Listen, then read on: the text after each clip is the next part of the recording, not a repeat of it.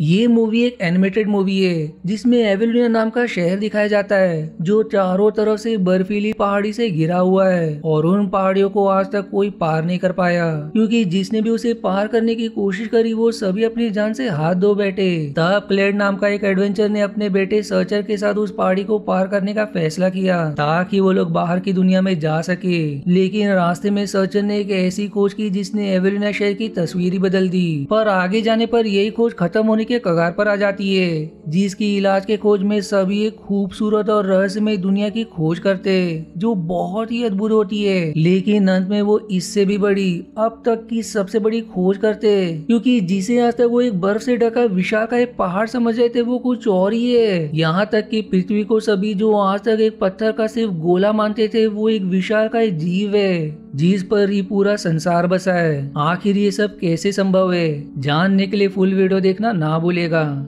जिसका लिंक आपको डिस्क्रिप्शन में मिल जाएगा।